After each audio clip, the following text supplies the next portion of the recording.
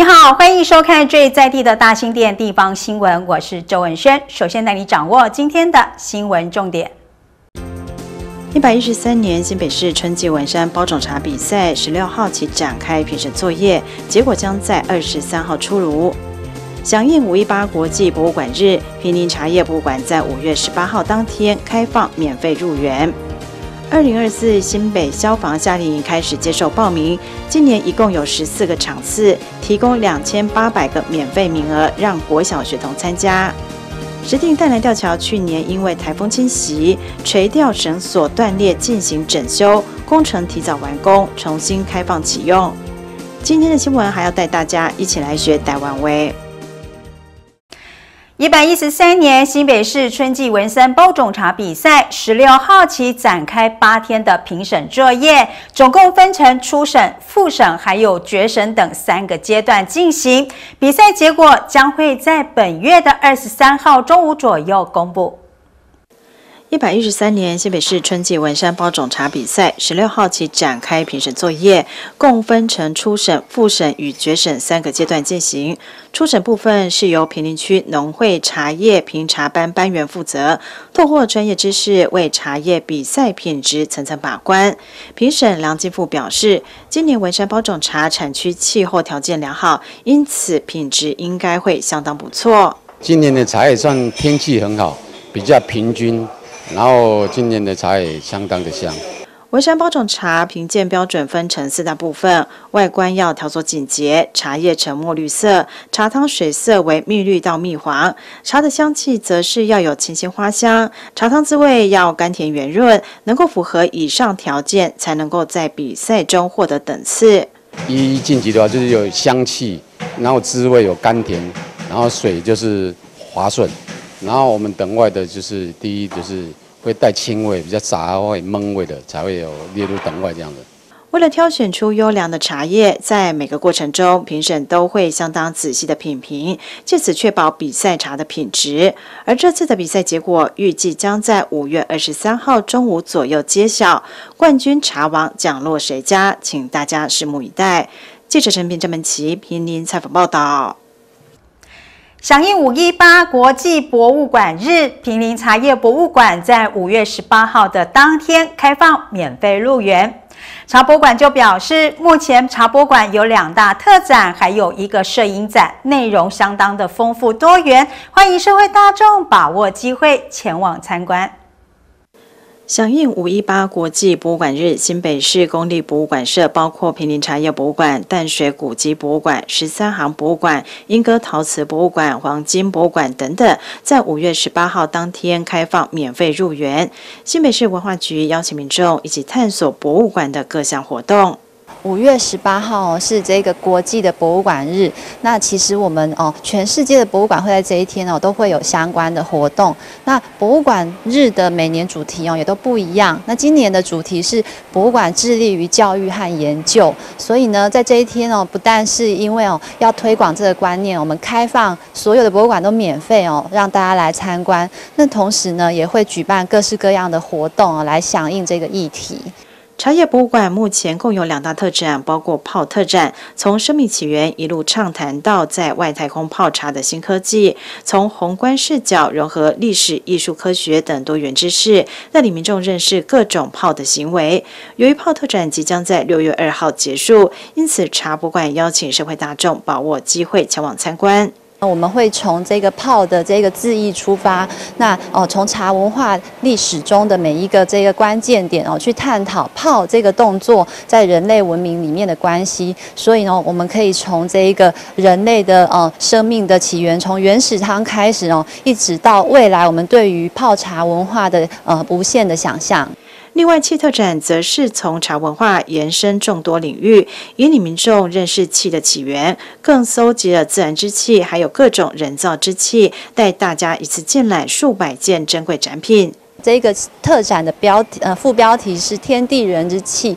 我们会从最原始的容器，一直探讨到人工哦制作的各种精巧的这个器物。那希望呢，可以让大家透过器物来了解我们这个文明的进程。另外，在草木间人文空间所举办的新茶潮摄影展，是透过了创新思维，彻底翻转大众对传统茶农的刻板印象。原本展期到四月底，由于响应热烈，因此延长展出，也欢迎民众前往感受视觉与味觉响应。记者陈平、张门奇平林采访报道。二零二四新北消防夏令营开始接受报名喽！今年呢是以防灾西游记同心向前行为主题，规划了多种闯关的关卡，将会在板桥还有新店等地区办理十四个场次，一共有两千八百个名额，让国小学童参加。活动呢是完全免费，欢迎小朋友一起从游戏中学习各项的防灾知识。为了落实防灾教育降下扎根，新北市消防局每年都会在暑假期间举办消防夏令营。今年以“防灾西游记，同心向前行”为主题，规划在板桥、新庄、中和、新店、三重、树林、细直等地区，一共办理了十四个场次，每个场次两百名，免费提供两千八百位学童参加。这次同样有许多丰富的关卡，包括希望有波比、犀利智慧王、洗手放一下等等。新北市消防局表示。今年地震频繁，所以在这次的新北消防儿童夏令营活动中，特别增加了地震防灾项目，例如如何准备紧急避难包、地震车模拟体验，以及新加入星火求生记 AR 游戏、防灾知识互动闯关等防灾内容，并且精心设计了多项消防关卡，透过分组竞赛互动游戏完成闯关，让学童能够从寓教于乐的欢愉气氛中学习防灾应变，了解正确防震、防火、防溺以及紧急避难逃生要领。新北消防儿童夏令营从即日起到六月五号开放报名，只要是就读或者是涉及新北市国小一年级到六年级的学童都可以报名参加，一律采网络报名，将于六月七号的下午五点公布抽签结果。希望所有学童都能够拥有一个充满意义且永远难忘的快乐暑假。记者杨邦友、赵方琪，新北市采访报道。石碇淡蓝吊桥去年因为受到台风的侵袭，导致垂吊所断裂，因此封闭进行整修。原定要在暑假完工的进度，在石碇区公所和各方的努力下，工程进度是大大的提前。吊桥整修工程也已经完工，并且重新开放启用。同时，再搭配着双溪口停车场周边的景观设施升级，让民众来到实地会有更好的。休息体验。原本预计在暑假完成整修工程的石碇淡蓝吊桥，现在提前完工，重新开放启用了。去年受到台风侵袭，导致垂吊所断裂而封闭。经过了各方努力以及石碇区公所积极处置，整修工程顺利进行，并且还提早完工，包括了垂吊绳索夹具全面更换。吊桥面板更换为更为耐用的铁木材质，另外还将钢构除锈、油漆等等。很感谢我们新北市政府的民政局跟阳光处有挹注我们相关的工程经费，所以我们这次除了把垂钓所这种结构性的垂呃比较结构性的那个部分去做修缮之外，我们还有做了一些踏板和扶手一些更换和一些主呃主桥塔一个油漆，所以其实我们现在大安吊桥算是一个很焕然一新的一个感觉。石碇区公所公务课课长郑友胜指出，垂吊所除了全面更换，同时采用了安全系数更高的材质，让吊桥的使用安全性大大提升。原本的垂吊所它是比较细的，所以就是然后再加上它是这次是因为，呃，它的塑胶塑胶的塑胶的套管破裂，所以造成里面的。钢索线锈蚀，那所以说我们这次有针对它的一个垂钓索一个材质有做做一个特别的选选选用，所以就是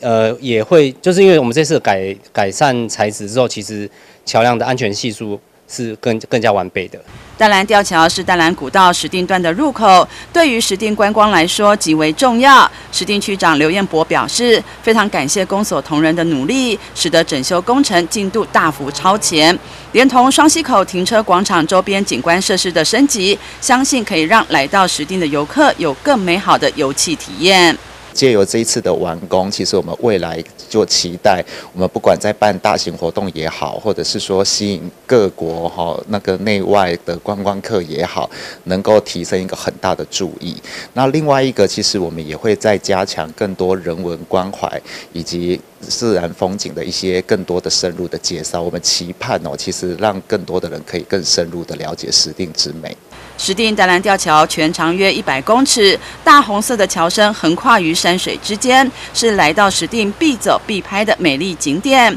如今重新开放启用，让游客可以再度欣赏美丽景致，一览石定之美。记者杨邦友、赵芳启石定采访报道。先让我们休息一下，待会广告过后，让我们一起来学台湾味。我们马上回来。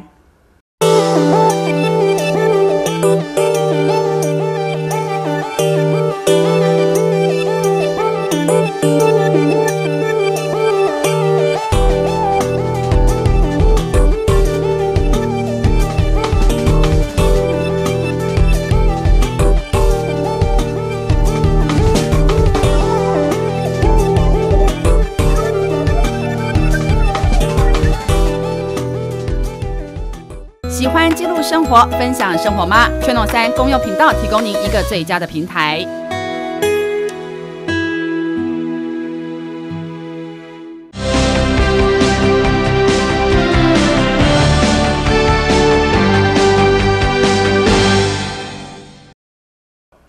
说落来是报道台湾话的单元，咱来看卖今日老师要教咱什么趣味的台湾话。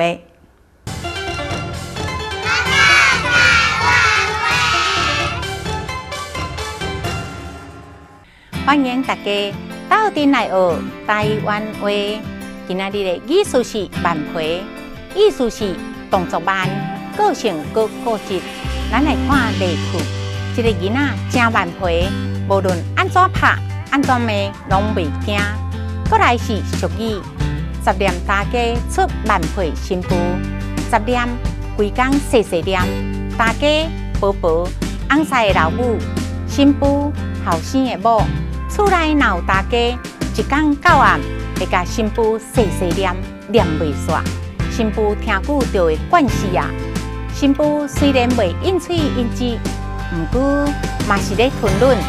凡事就先自然。大家细细念，自然就有反应慢个固执的新妇。所以，想过十念，这毋是好现象。紧接着，让我们来看看波美亚提供哪些地方上的活动讯息。民众如受近期强震遭受财务损失，可减负证明文件向税捐机关申请减免。可申请项目有综合所得税、营业事业所得税、货物税、房屋税、地价税、使用牌照税等。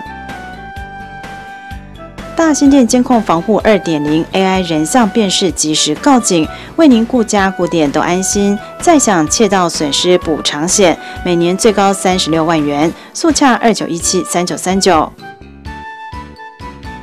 交通部公路局台北区监理所持续推动机车驾驶训练制度计划，即日起至十一月三十日，参加驾训班机车训练并考取驾照者，补助每人训练费一千三百元。新北地区名额共计六千两百人。民众如有所得税报税问题，请多加利用国税小帮手智慧客服系统，二十四小时不打烊线上服务，或上班时间拨打免付费咨询专线零八零零零零零三二一，将有专人提供服务。基本是好运专车产检车资补贴方案，一月起延长使用期间至分娩后六个月，并可运用在孕产妇就医、婴幼儿预防接种及就医等用途。以上更多的新闻内容，民众可以扫描画面右手边的 Q R code 订阅大兴店的 YouTube 频道，又或者是到我们的脸书粉丝团以及官网上查询点阅。欢迎民众可以多加的利用。我是周文轩，感谢您今天的收看，我们明天同一时间再会。